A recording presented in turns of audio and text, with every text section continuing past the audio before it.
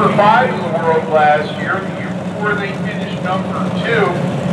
They came about two hundredths of a second away from having the number one on your car.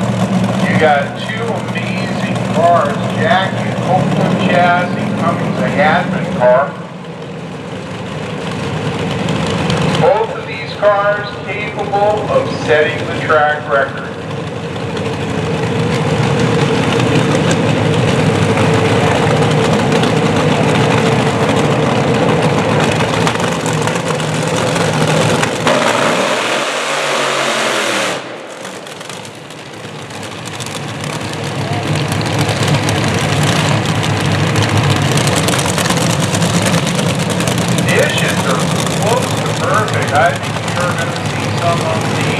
Runs here.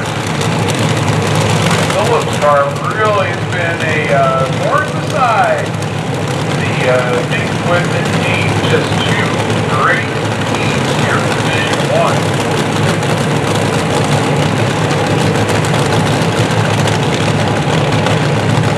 All right. Both cars, of course, injected nitro, so listen carefully